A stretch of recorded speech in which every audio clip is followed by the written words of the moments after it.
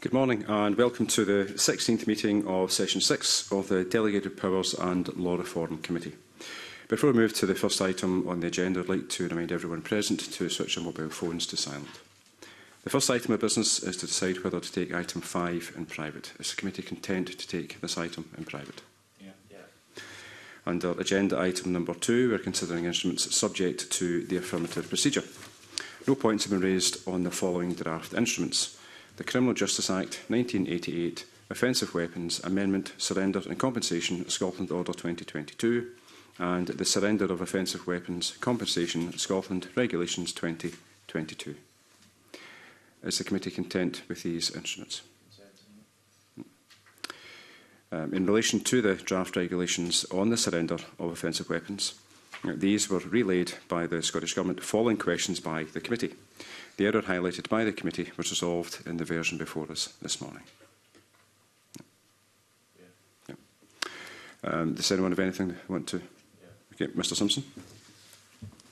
Thanks very much, convener. Uh, these uh, two regulations uh, relate to Uh, the surrender and the compensation scheme for what, what are known as zombie knives. Um, my concern is, I mean, I mean, uh, I, I, I would say I'm in favor, obviously in favour of um, getting rid of what look to be pretty uh, offensive weapons. Um, when when you Google a zombie knife, you'll see what I mean. Um, but I think. Uh, it, uh, there's a question for the lead committee in being absolutely certain that the regulations are clear, absolutely clear, on what is meant by a zombie knife as opposed to any other knife. Uh, because obviously the law needs to be absolutely clear. So we wouldn't want a situation where, uh, you know, knives can slip through the net, if you like. So I think it's just for just to raise with the, the lead committee that they should be uh, absolutely certain that uh, the regulations are clearly defined in this case. Okay, thank you, Mr Simpson. Does anyone else want to comment? No. Okay, that's uh, I think uh, that's a valid point, and uh, I'd be content for us to uh, raise this uh, particular issue uh, with the lead committee forum uh, when they are uh, looking at the, the order. Yes. Thank you. Under agenda item number three, we are considering instruments subject to the negative procedure. An issue has been raised on one of these instruments, which is SSI 2022-158, the Police Act 1997, Criminal Records, Homes for Ukraine Sponsorship Scheme, Scotland Amend Regulations 2022.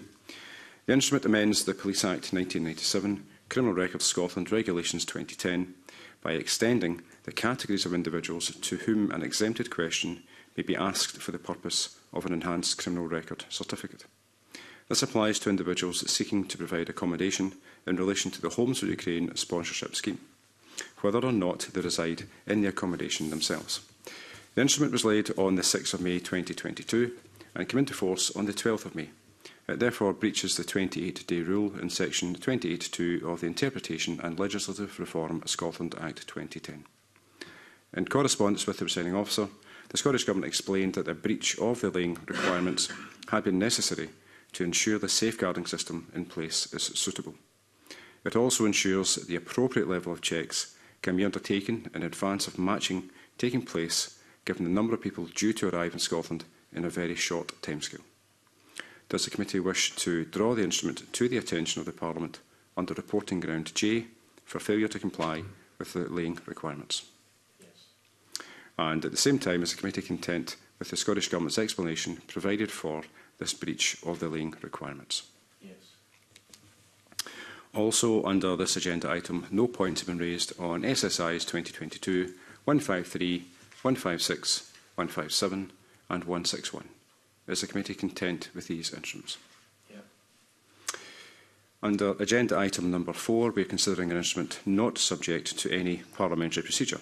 No points have been raised on SSI 2022-154. Is the committee content with this instrument? And with that, I will move the committee into private. Thank you.